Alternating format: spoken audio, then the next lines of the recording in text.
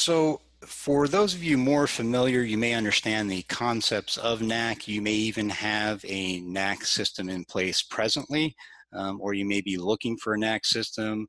You may be looking to migrate, or you may understand the concept but have never implemented one.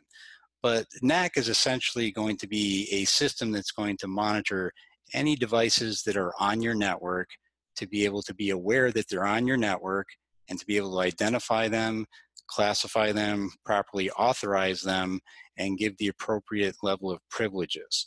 Um, you also need to make sure that you have the appropriate visibility and security policies in place to actually manage your NAC system properly. Um, because of where NAC typically sits in the network, it is ideally positioned to, to meet these requirements and to fulfill those basic uh, needs to validate what is connecting to your network. One of the reasons that some companies do not have NAC implemented is because historically with many legacy NAC solutions, it's challenging. So there's no doubt about it. Um, you know, people talk about it, CIOs talk about it, CISOs talk about it. Um, maybe it's a project that's never gotten off the ground just because it's uh, not only perceived as complex, but it can be complex. Um, many systems do use a RADIUS uh, based um, solution at the core. Um, so that means that you have to actually have someone with the appropriate skill sets to actually implement 802.1x or RADIUS um, on your network. It also means that many or all of your network devices will have to be configured and integrated with RADIUS um, on top of that, if you do implement that kind of a solution, you typically will be introducing a single point of failure. So now high availability is required. That has to be configured and validated. And all of this basically leads to a very high touch, very lengthy deployment. Um, and sometimes these get started and just stall out. Um, one other item that is more indicative of a legacy NAC solution is, is the lack of really um, detailed information about devices, especially relative to IoT, um, and, and, just basic fingerprinting is provided. So that may not be applicable or, or valuable enough in certain environments. So when we think of a next-gen NAC solution, we want to address um, most or all of those challenges that is experienced with a legacy NAC implementation. So some of those benefits um, and features of a next-gen NAC solution should be that you're not tied to any particular um, configuration requirement or enforcement method. So for example, no requirement for 802.1x. Make that optional. You should not have to go out and configure all of your network devices. Um, you should not be introducing a single point of failure. And you should be able to rapidly deploy NAC. If, you have a cybersecurity plan that you want to implement and you're trying to get visibility right away, um, then you need to be able to do it quickly. You need to be able to do it with minimal staff. And then lastly, you want to have detailed information about what's connected to your network. So what we consider device platform intelligence goes beyond basic fingerprinting and provides that low level detailed information about those devices. The Genian NAC solution we'll be talking about here more today um, can address all of this and, and really um, at the core is the device platform intelligence is at the core of this solution. So we talked about surveillance and then control and automation being the building blocks of NAC that correlate to cybersecurity requirements. And device platform intelligence really is at the core from a visibility standpoint and is uh, unique to this product relative to um, some of the other products out there.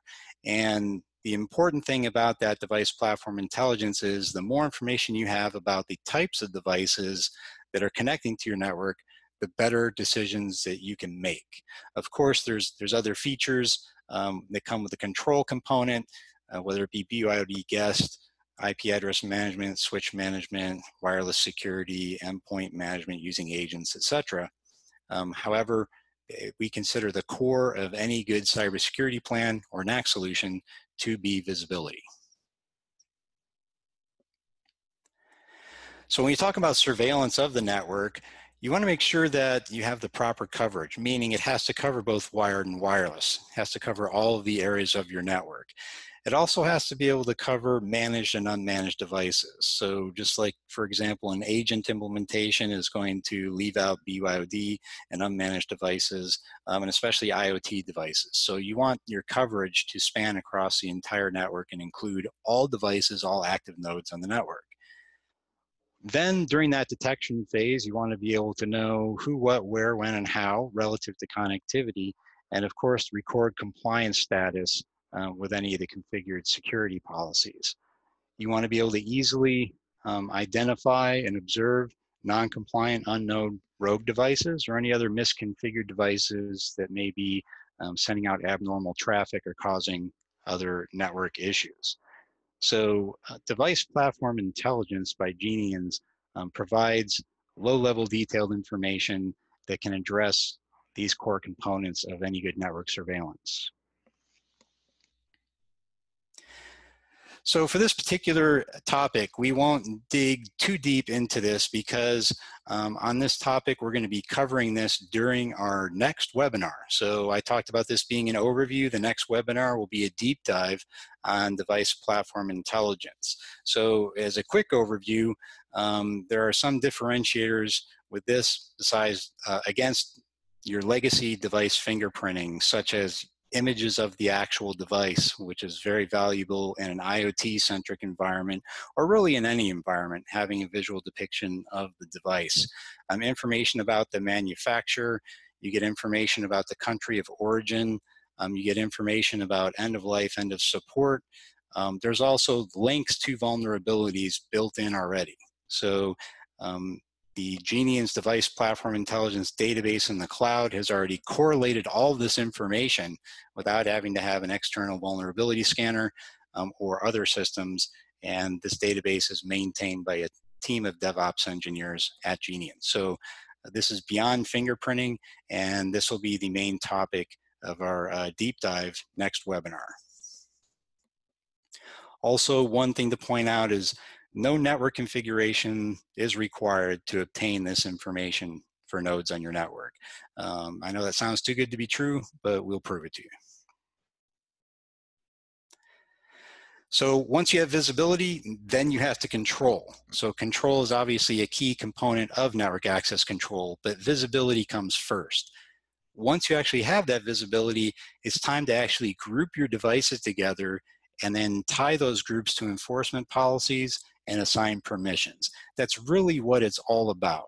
Knowing what's on your network, grouping and classifying what is on your network, and that you know the accuracy of your visibility will depend on how well you can group those devices together.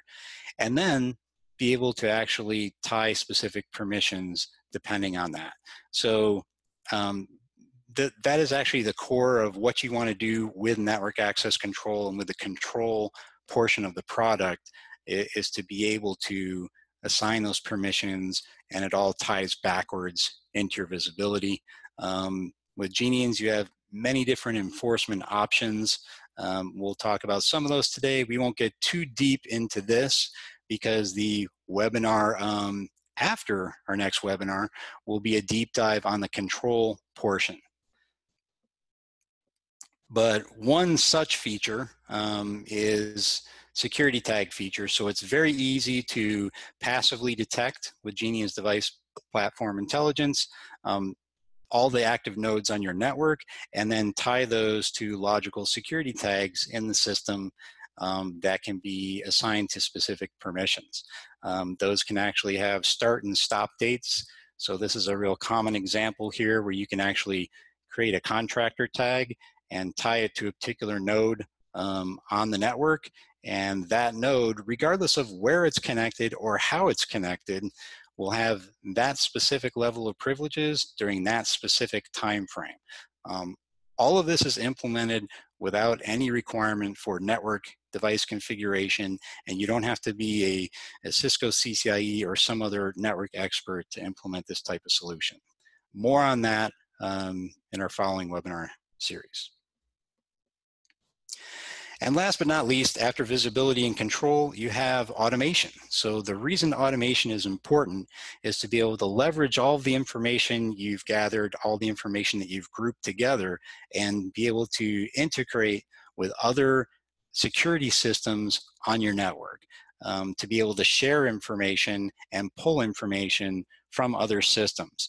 This just increases the value um, of your network access control solution and also increases the value and capabilities of your other systems that you integrate with it.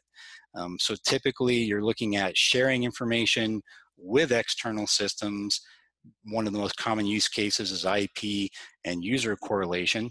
Um, and then be able to fill gaps for some of those other devices that don't have that correlation, and then receiving information from those devices, um, like an IDS, for example, to take information such as a device that has been hit on a malware threat or an active threat signature, and to be able to block that using the inherent blocking mechanisms built into network access control.